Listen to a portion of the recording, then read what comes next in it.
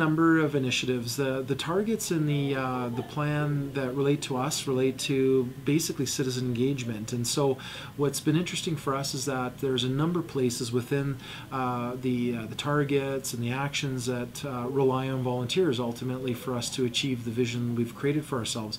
So there's a natural alignment for what Volunteer Calgary is trying to do in terms of encourage citizen engagement that line up really well with the plan. So we've uh, launched a number of initiatives since we became an Imagine Calgary partner that relate to trying to encourage citizen engagement. And what's neat is that we don't uh, really place uh, any value or direction on where that engagement happens. And so whether a person cares about children or the environment uh, or the physical space, uh, museums, it doesn't matter. The idea is that all of those various aspects of the plan need volunteers to help make them become a reality, and we're working to try to help engage people. We're trying to do that in a few different ways. Some of the most uh, more significant efforts that we're doing that are quite a bit different than say in the past is we're trying to encourage different types of volunteers to volunteer. So for example, we've launched an ethnocultural engagement strategy where we're trying to take advantage of all of the great gifts uh, the recent newcomers to Canada that have come to Calgary come with so that there's a way that if we can encourage those recent immigrants to become volunteers in the broader community, there's a much greater chance that the uh, Imagine Calgary plan will gain the benefit of these newcomers. We're doing a lot of work with employee volunteers. A lot of corporations in Calgary are very interested in getting their employees out uh, and coming out as a team of employees. And so we also see this as a huge opportunity to, to link our work in terms of encouraging this kind of volunteering to some of the Imagine Calgary targets as well. Same idea, if we think about what's in the plan, there's a huge opportunity for corporate Calgary to contribute not just in financial ways, which they do very often, but in actually mobilizing employees to become volunteers in aspects of the Imagine Calgary plan. And then the last one is uh, an interesting one, and it's uh, trying to recruit families and youth to volunteer. And this is where we think there's a golden opportunity to engage the average citizen in the vision of Imagine Calgary. So we're trying to encourage families to volunteer and young people to volunteer in new and unique ways. And I think there's also some neat alignments that we've been working on at Volunteer Calgary to link them to some of the activities that are in the Imagine Calgary plan.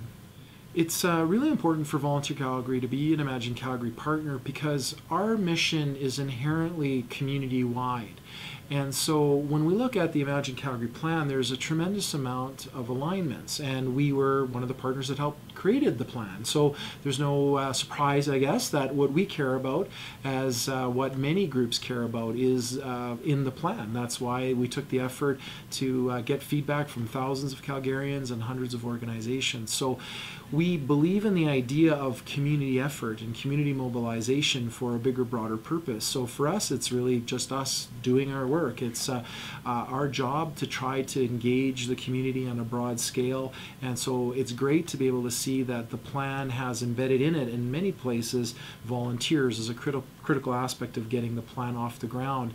And so for us, being a partner is just natural, and it is, I think, a really great alignment. And I think that's why so many of the existing Imagine Calgary partners are partners because. Uh, you know, we each do our work, and so there's opportunity to connect into something bigger through the Imagine Calgary plan by being a partner. So if you think about it, we all have visions that are very similar, whether it's Volunteer Calgary's vision or other groups' visions. And so I think this is the golden opportunity to practice what we preach in our strategic plans because we talk about missions and visions. And so I think it actually, in my aspect, it's absolutely essential that you plug your mission and your vision in to this broader vision that we've all created because that's the essence of why you why you create a mission and a vision is it's part of plugging into the bigger picture and so i think for any nonprofit or corporation i mean for most i'm sure of calgary that vision when they read it they can relate to it they want it.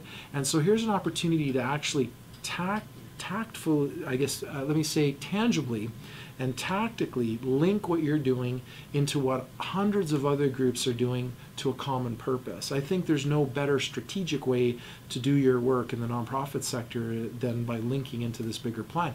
Otherwise, we're working in these insular pockets, right? And we're working to all of these independent visions. And it's not to suggest that you don't keep your own, you know, respective vision, but I, I would challenge an organization to not find something in that Imagine Calgary vision that doesn't already relate relate to what they want to do, what they want the you know the community to look like in the future.